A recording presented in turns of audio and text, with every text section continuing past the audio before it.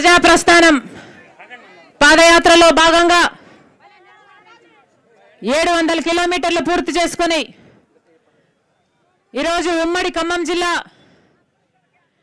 ఇల్లందు నియోజకవర్గం టేకులపల్లి మండల హెడ్ క్వార్టర్లో రైతు గోస ధర్నా ఈ రైతులందరితో కలిసి పాల్గొంటున్నాం.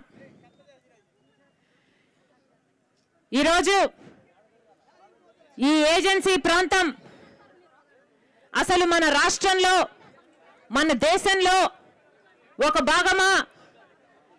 లేకపోతే పక్క దేశంలో ఉన్న పాకిస్తానో ఆఫ్ఘనిస్తానో లో భాగమో?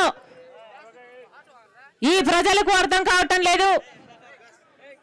ఇక్కడ పర్యటిస్తున్న మాకు కూడా అర్థం కావటం లేదు. కారణం? ఎంతమందికి?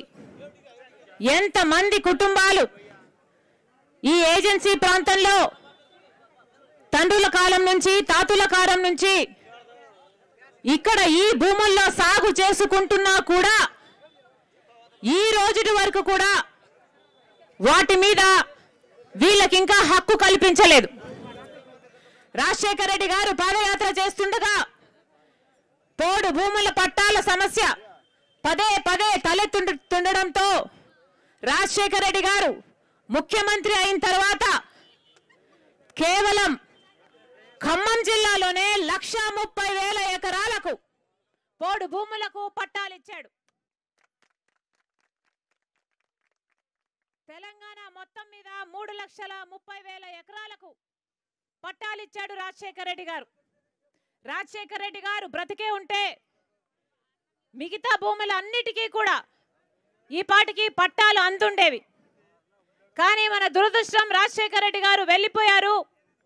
ఆయన వెళ్ళిపోయిన తర్వాత వచ్చిన ముఖ్యమంత్రులు కానీ ఇప్పుడు ఎనిమిది సంవత్సరాలుగా ఉన్న కేసీఆర్ కానీ ఆ తర్వాత రాజశేఖర రెడ్డి గారు ఇచ్చిన భూములకు పట్టాలు తర్వాత ఒక్క ఎకరాకు కూడా పోడు భూములకు పట్టాలిచ్చిన పాపాన పోలేదు. కారణం? కారణం? ఈ పాలకులకు ఈ పాలకులకు ఈ ఎస్టీలు ఆదివాసులు వీళ్ళంతా అసలు మనుషులుగానే కనిపించడం లేదు. ఎన్నిసార్లు ఎన్ని సంవత్సరాలు మా భూములకు పట్టాలు ఇవ్వండి మాకు హక్కు కల్పించండి అని మాత్రమే వీళ్ళు అడుగుతున్నారు. తరతరాలుగా. వీళ్ళకు వీళ్ళు రైతులకు వచ్చే ఏ ఇతర పథకాలైనా అసలు ప్రశ్నించడం కూడా లేదు. అమ్మా మాకు ఇక్కడ బోర్లు వేసుకునే హక్కు కూడా లేదు. ఒక్క ఇరిగేషన్ ప్రాజెక్టు లేదు. నీళ్ళొచ్చే మార్గమే లేదు. దేవుడు దయదలుస్తే వానలు వస్తే మాకు పంటలు పండుతాయి. లేకపోతే మా కడుపులు ఎండుతాయి. అయినా పర్వాలేదు తల్లి. మేము అలాగే బతుకుతాము. కానీ మా భూములకు పట్టాలు మాత్రం మాకు కావాలి. ఈరోజు కేసీఆర్ గారు పట్టాలు ఇవ్వకపోగా ఉన్న భూములు కూడా గుంజుకుంటున్నాడు ఉన్న భూములు కూడా లాక్కుంటున్నాడు. వేల ఎకరాలలో ఇక్కడ భూములు గుంజుకోవడం జరిగింది. మా వాళ్ళు ఇక్కడ పని లేక వలస వెళ్ళిపోయారు అని చెప్తున్నారు. అసలు పాలకులుగా ఉండి కేసీఆర్ గారికి ఇది భావ్యమేనా అని ప్రశ్నిస్తున్నాం. కేసీఆర్ గారు ఎన్నికలప్పుడు ఏం చెప్పాడు? పోడు భూముల సమస్య ఉంది అని నాకు తెలుసు. ఈ సమస్యను మేము ఎన్నికలైపోయాక పరిష్కరిస్తాము మీరు మాకు ఓట్లేయండి. అవసరమైతే నేను వస్తాను. నా అధికారులతో వస్తాను. నా మంత్రులతో వస్తాను. ఇక్కడే కుర్చీ వేసుకొని కూర్చుంటాను. ఇక్కడే మీ భూములు పరిష్కరిస్తాను అని చెప్పలేదా కేసీఆర్ గారు? చెప్పలేదమ్మా మరి ఎందుకు రాలేదు కేసీఆర్ గారు? ఎందుకు రాలేదు? ఎందుకు కుర్చీలు వేసుకొని ఇక్కడ అధికారులతో వచ్చి ఎందుకు పరిష్కరించలేదు? ఇక్కడ వేసుకొని కూర్చోడానికి కుర్చీ లేక పరిష్కరించలేదా? లేకపోతే మీకు పరిష్కరించాలని చిత్తశుద్ధి లేదా? లేకపోతే మీకు చేత కాదా కేసీఆర్ అని అడుగుతున్నాం.